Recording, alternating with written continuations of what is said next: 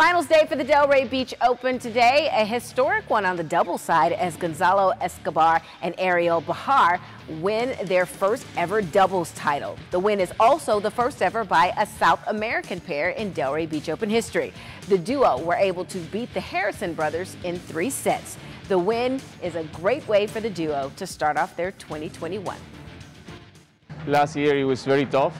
Um, I was at home and many times it was a family or a friend that's saying, you know, are you gonna still keep doing this? You know, you're turning 32 soon, you know. The classic things that, that um, you have to always don't pay attention to. So yeah, I'm happy that it, that's all behind and we can focus on a new year and what a better way to start. And on the single side, Hubert Hurkacz takes home the tournament crown.